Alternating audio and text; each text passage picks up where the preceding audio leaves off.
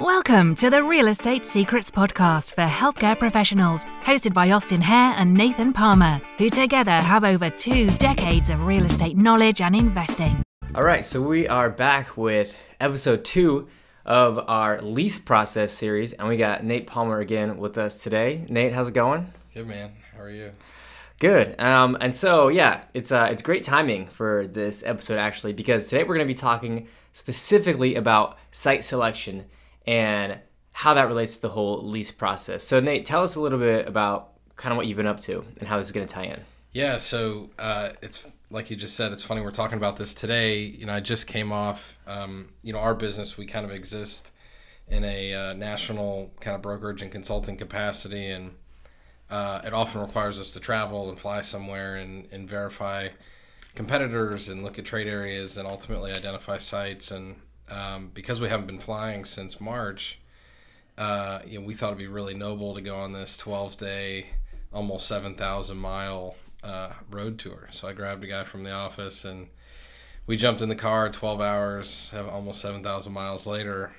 Um, we, we, uh, we visited, I think, nine distinctly different markets for clients to evaluate different opportunities in those areas. And um, yeah, man, it was crazy. But I think, you know, I think on the topic of site selection, I think, I think what's really important is that like this is a, um, like this is a very challenging item. I mean, it's really kind of the special part of our business, right? To be able to look at at something that doesn't exist and see it in a way where things are possible, right? And you know, for for a lot of our clients that are under five thousand square feet and are primarily retail site driven in nature, you know, it's it's just a dream to get into a good trade area, to have a presence of good anchors and some of the things we've been talking about, and then see a a vacant pad that's for some reason still not developed yet, or an empty bank building or a Taco Bell that went out that we can just easily grab and and try to work something through and and unfortunately that only happens maybe 5% of the time so um, you know i think i think one of the most important characteristics when it comes to site selection is really kind of the the mental fortitude and the creativity it requires to um, to really see something that's not there and and to really kind of come up with a a path or a solution to kind of create that something that doesn't exist. Yeah, so let's talk a little bit about the inverse relationship between uh, drive-by traffic, the amount of people that are coming through, and accessibility. Yeah, so we were just talking about this a minute ago, but you know, one of the common um, acronyms in site selection is VAST: visibility, access, signage, traffic, and and obviously every user would love high scores in all these categories. The the tricky part is, um, you know, some of these work in inverse to each other, right? If if I've got so much traffic, which is a good, which is people would argue a good thing. A lot of people driving by my building, um, oftentimes that will impede or restrict the accessibility into the site, right? Because you can't have a road with 40,000 cars a day and full access points in multiple parts of the site, right, where people can just get on and off those roads without um, a lot of kind of carefully determined access patterns. And, and traffic is something that's really, really critical. And I think it's something that impacts site selection in a way that a lot of people don't give it a, lot of credit for. Um, we were working recently on a project in Florida where, um, you know, the part of the development required a traffic impact analysis. It was a, a new four acre development. And we had to see, based on the users that were coming into that project, how that was going to impact and the number of new visits that those users were going to bring to that intersection. And and then be required to add additional infrastructure as part of some of our offsite improvements to really make it so that those uh, those customers and patrons that live in the nearby area could access you know these buildings that we were going to build and and ultimately get to our users who are going to open there. So yeah, what's really tricky I think is um, you know some of the things that we look for. Obviously, you can't have ten out of ten in every category, right? As much as we would all love that, you know, a high profile site right at a stoplight on an intersection with an anchored center behind you. Obviously, you're going to have super visibility, super signage exposure but your access is probably garbage. They're gonna have to turn in around behind you, somehow weave back into you, and and try to figure that out. Or maybe there's an easy, depending on the flow of the traffic and how people are getting to that site. Maybe from some directions there's easy access right in, right out, but a complicated access path for that customer to get out of that physical pad and get back on the roadway, headed back to wherever they came from. So, so yeah, I think it's um, I think it's, it's really tough. And, and another uh, component that really impacts site selection is um, really understanding your clients like budget and what their objectives mm. are, right? Because to some extent, almost anything can be available, but it comes with a price, right? And so, you know, we've got a handful of clients that um, uh, occupy or are medical users, but don't occupy high-end retail space. They're more traditional medical use, and and so they're limited on the amount of rent uh, that they can pay. It's a critical part of their business success and profitability. So, you know, to some extent too, you also have to understand really with what you're looking at and, and what you would hope to create or build or whatever that that it's ultimately going to be affordable for your client to be successful. Yeah, and, and that makes a lot of sense. So let's go through, let's just kind of talk about the order of operations with site selection. You know, what's kind of like the chronological timeline of how you'd go about tackling this subject for a client in, you know, in the healthcare industry?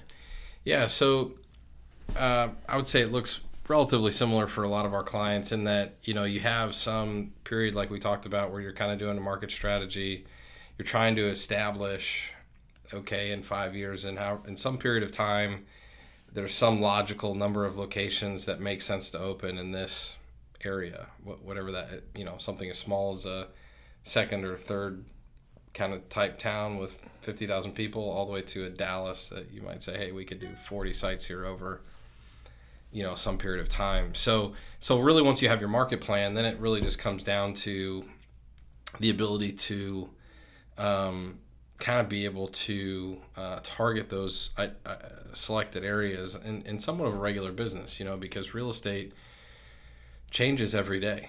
Uh, so, you know, we've had it many times where we have a trade area we're interested in. It scores well from a demographic standpoint. It's low from a competitive standpoint. It's got the anchors and the synergy we like. But I drove through there on June 1st and there was nothing available.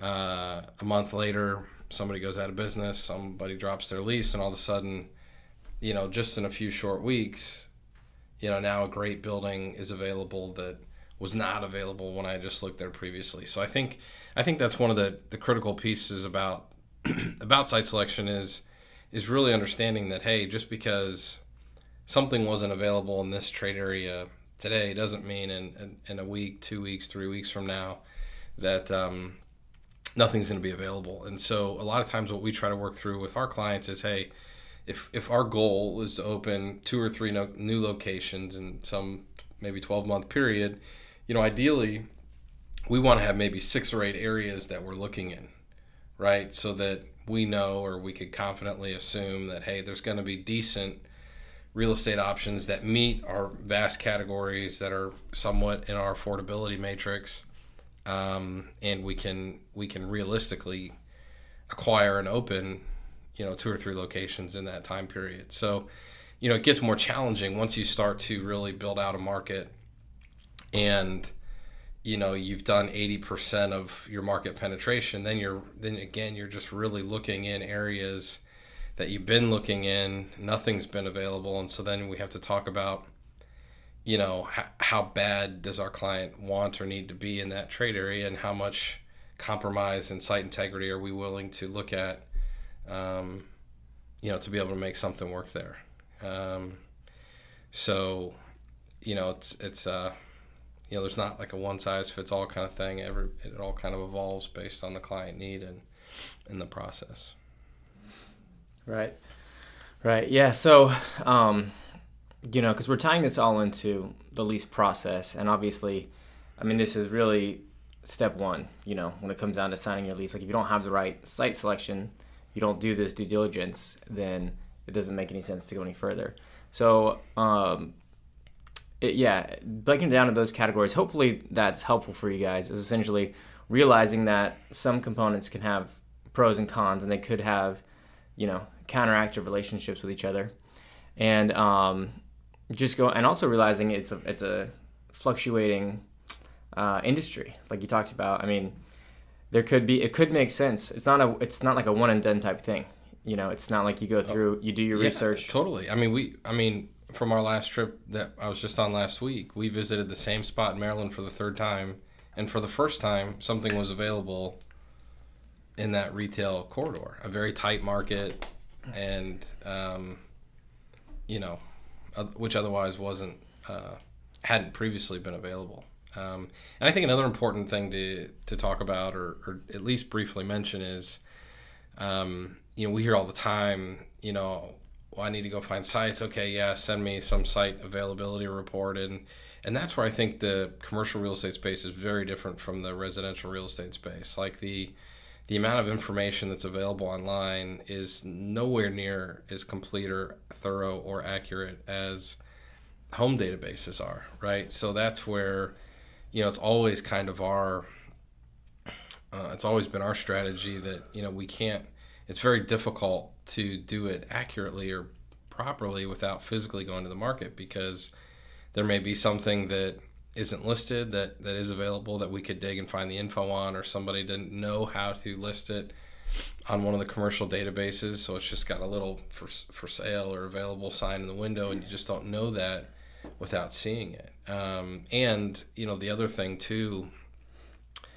you know that i'll say is like we have many clients in many trade areas that we've been looking for years that we've identified or are watching you know the pizza hut buildings the uh, some of the applebee's or the chili's restaurants where you know you have these retailers who um, have historically been operating these locations. They're still open today, but we know nationally they're struggling. Because everybody can think of the example of Blockbuster and, and some of these others who've gone through just major bankruptcy or consolidation where you know one of the things we try to do in our market visits if we really like a trade area and we like how building's position is really make note of hey you know there's a, the old you know red roof pizza hut building which they've largely abandoned and gone to the small delivery carry out location in a strip center. And you know that's a building we should watch to see if it would come available. Uh, you remember when you and i drove through um, uh, those areas outside of athens in georgia you know we drove that stretch coming out of that walmart and there was an old pizza hut building and an old steak and shake building right? So you know different trade areas um, and different specific users in those areas that I think people need to watch for that historically or or just by trends you know have transitioned to a different type of real estate that you know maybe it's not something that's available today but at some point in the near future you know Pizza Hut is no longer going to continue to operate in that freestanding 3,000 square foot building on an acre, you know, Yeah, they're so- likely going to transition to their new. And how do you help someone balance that? Like, how would you help a client who has a, um, a business coming in and looking for, okay, they want to be quick to market, but they also really want a desirable location. They want to, they, that might not be available right now.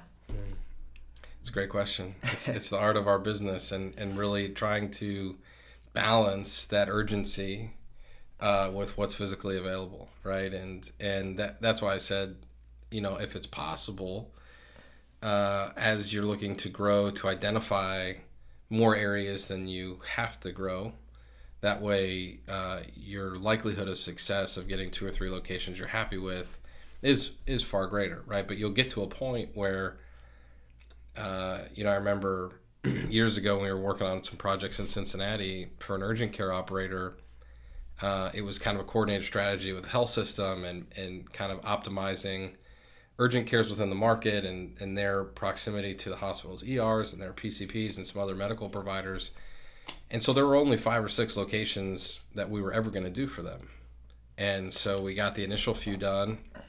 Again, looking at all six areas, not with any real significant bias to whichever ones we were going to start in. And uh, we got a few done initially because there were you know sites available, and then it just came down to the point where hey, you know, we have to do something in Anderson, and this is the only stretch of retail there, and so either we wait or we take this maybe B option that is available today, right? And that's where you know we just have to provide our clients with the options so they can make those uh, decisions. Yeah, I think that's good because really, you know, it doesn't matter how many sites or how many locations you have. You could have a hundred or you could have one, but just because you have one, it doesn't mean that you have to go to one very specific three mile radius. You know, you could if you can identify four or five of those, or or maybe you know three to five of those, then you're opening up the amount of possibilities that you have. So where if you and you're increasing the likelihood of getting a great great location because I you know we talked about this earlier, but I think that it's easy to assume that you have to be in one specific area, you know, because it's by something that you like or you have a personal affiliation with it, but it's easy to let our emotions cloud logical decisions. And so if you can break past that and identify multiple places where that meet the the criteria that you're looking for, you know, that that hit these check, you know, check off these three to five check marks that you've identified previously, then that's going to be key in snagging up those good locations because and the reason that they're not available is because they're good locations. So in that sense, like you got to be quick. And the more areas that you've identified as a possibility, then the higher your chances of, of snagging up one of those areas when they come available. Yeah, 100% agree. Only nuance being, you know, most of our clients aren't selling burritos. So sometimes there's more factors from an operational standpoint that we have to respect, you know, based on referral relationships, providers who are going to work there and where they want to live and work and all that. So, uh, but yeah, you're, you're 100% correct to the to the best extent possible. If we can identify more areas than we need to open sites in, it always yields a, a better outcome.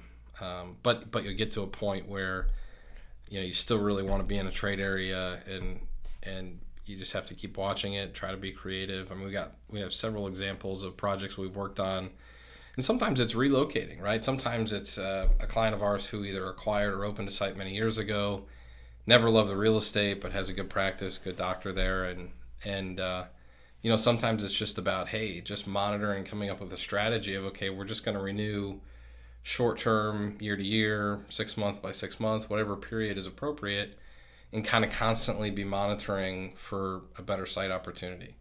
Um, and when the time comes and something is available, you know, to move on that, and and depending on how creative you have to be, right? We're doing one right now in Louisiana where uh, our clients desperately wanted to move for a couple of years. It's a very tight trade area, a couple of shopping centers with no availability, and um, you know we've we've kind of been hitting our heads on the wall. Not that I mean, you know, some some people have this fantasy that I'm going to go drive down the road and buildings that are vacant are just going to appear. Right? It's not the case. um, it's very difficult. It's very difficult. So.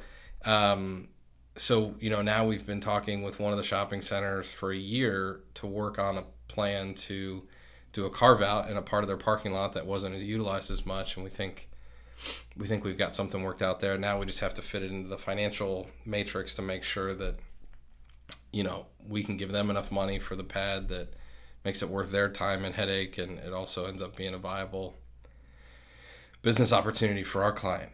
Um, so yeah it's it's never um, it's rarely easy. I should never is not the right word, but it's rarely easy. Yeah, well, there you have it, folks. Um, Nate, is there anything you'd want to add in closing? Yeah, uh, probably. I mean, there's so many. There's so many strategies. This you know, one of the things I don't, I don't think we talked about is you know I think it's you know at least in our interpretation, um, you know, you really want to employ every strategy you can think of to identify possible options, right? From from commercial databases to um, local broker market blast, just letting everybody know that you've got an assignment or that you're looking in a certain area. Maybe you don't have to get, you know, you have to be sometimes sensitive to the competitive nature of our client's business and not wanting to announce to the whole world that hey XYZ urgent care is trying to go open a new location in this market, right? We're not, you know, we have to be a little sensitive to that, but but something to let brokers or the brokerage community or landlord community know that you have a need in an area so that uh, they can be thinking about options that they could present to you um, physically driving there you know and there's some strategies when you are driving and looking around that that you can also think about right like a lot of times um, if I'm going to go to a market, I'm not going to hit every, you know, if we've identified 10 target areas in a market, I can't be in every area during the time that it's busy, right? So we've got to look at strategies or understand, hey, yeah, I'm, it's nine o'clock in the morning on a weekday and I'm in the shopping center. There's a lot of other anchor and synergistic users, but because of the time of day, the day of the week, there's nobody in the center, right? So looking at the parking lot, looking at oil stains, seeing how full the parking lot normally gets so that we can make some assumptions around, you know, the viability of the center beyond kind of what we're physically looking at when we're there at a weird time. So there's just a lot of that kind of stuff that that you'll learn and that you'll get better at as you um, you know, kind of go tour and look at look at some of these locations. Yeah. Yeah, absolutely. Well, I think that's a lot of content to process. So, um, like always, I hope that this information is is helpful and practical that you can go out and implement it day one of, of listening to it. So, um, stick around. The next topics that we're going to be going over are going to be components of an LOI. So, we'll break those down for you guys. And then we're going to talk about the core economic components uh, in relationship to an LOI. And then uh, lastly, we'll just be breaking down the differences between simple or complicated LOIs. And so, uh, Nate, thanks for enlightening us with the knowledge, and uh, see you guys next time.